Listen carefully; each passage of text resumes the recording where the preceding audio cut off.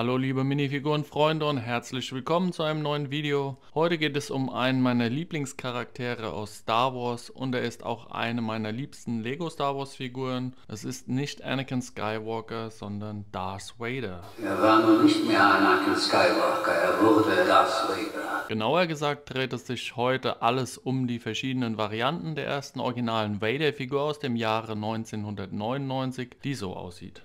Davon gibt es insgesamt tatsächlich acht offizielle Figuren. Zwei davon besitze ich noch nicht, aber werde ich bald besorgen. Im Wesentlichen unterscheiden sie sich nur durch den Kopf. Außerdem gibt es noch zwei zusätzliche Varianten, beziehungsweise nur eine, weil die andere eigentlich von einem Kugelschreiber stammt. Das ist keine offizielle Lego Minifigur, aber sie ist offiziell von Lego und LucasArts lizenziert. Sie sieht allerdings aus wie eine absolute China-Fake-Figur und ich frage mich, warum Lego dem zugestimmt hat aber gut, das soll mal nicht unsere Sorge sein. Sie zählt also nicht wirklich, aber ich fand es witzig, da sie natürlich auch der ersten Version von 1999 nachempfunden ist. Von den derzeit 29 offiziellen Lego Vader Minifiguren habe ich bereits 23 Stück zusammengesammelt. Sobald ich sie alle beisammen habe, werde ich auch dazu nochmal ein Zusammenfassungsvideo drehen. Nun aber endlich zur eigentlichen Figur des Videos, der wahren Variante. Diese habe ich auf Ebay geschossen und ich bin gespannt, dieses seltene Stück mit den anderen Figuren zu vergleichen.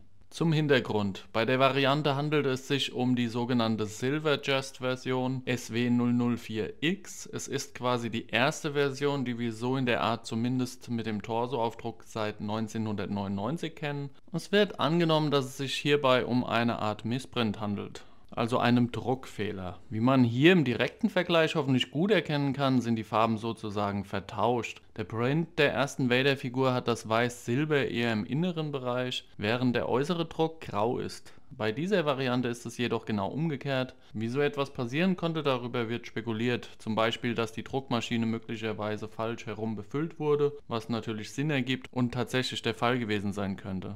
Da hat wohl jemand im Werk geschlafen. Allerdings ist mir etwas aufgefallen, denn bei dieser älteren Version des Vader Schlüsselanhängers haben wir im Grunde dieselbe Figur und siehe da, der Druck ist exakt derselbe. Ich bin mir nicht sicher, ob es da Zusammenhänge gibt. Zunächst dachte ich, es könnte einfach der Torso der Schlüsselanhängerfigur sein, der dann ab Werk als Variante im Umlauf kam, aber ich glaube, das ist nicht möglich, da der Kopf und der Torso bei der Schlüsselanhängerfigur durchbohrt sind, damit der Metallstift hindurchpasst. Das wiederum weiß ich nicht zu 100%, da ich das bisher nicht überprüfen konnte. Da ich das Polybag nicht öffnen möchte, werde ich wohl nach einer losen Version Ausschau halten, um sie auseinanderzunehmen. Es sei denn, einer meiner Zuschauer hat vielleicht schon mal so eine Figur auseinandergenommen und kann mir genauere Informationen zukommen lassen, wie der Torso eigentlich beschaffen ist. Denn bei meiner Variante ist es ein ganz normales Halsstück mit dem Lego-Logo oben drauf. Außerdem wäre es interessant zu wissen, ob es in anderen Schlüsselanhänger-Polybags eventuell auch zwei Varianten gibt. Das habe ich bis zum Abschluss des Drehs noch nicht recherchiert. Also der Aufruf geht an euch da draußen, wenn ihr eine solche Figur oder eines der Polybags habt, schaut doch bitte mal nach und teilt hier gerne mit, was ihr entdeckt habt.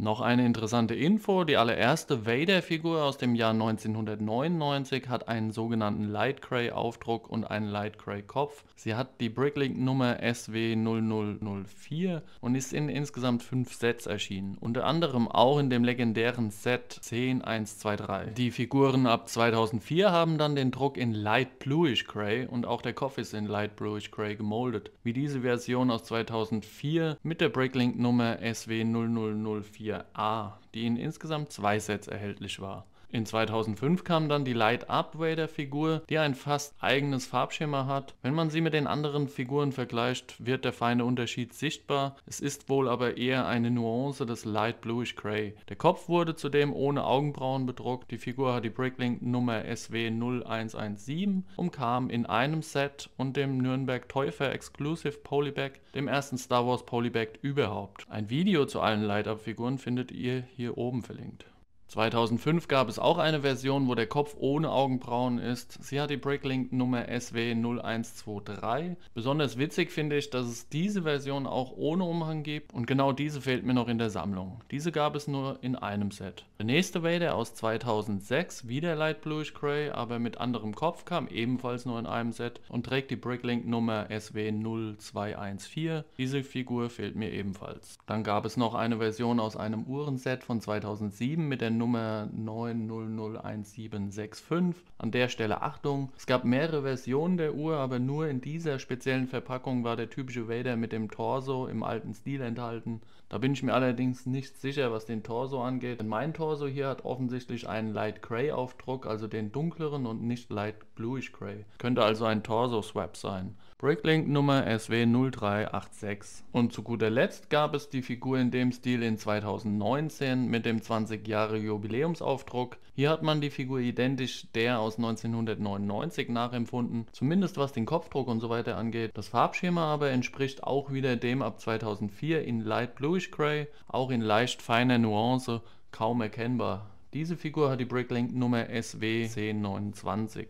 Lasst mich gerne eure Meinung wissen und zeigt mir, ob ihr das Polybag oder die Torso-Variante habt und was ihr darüber denkt. Vielen Dank fürs Zuschauen und ich wünsche uns allen noch einen schönen Tag. Möge die Macht mit uns sein.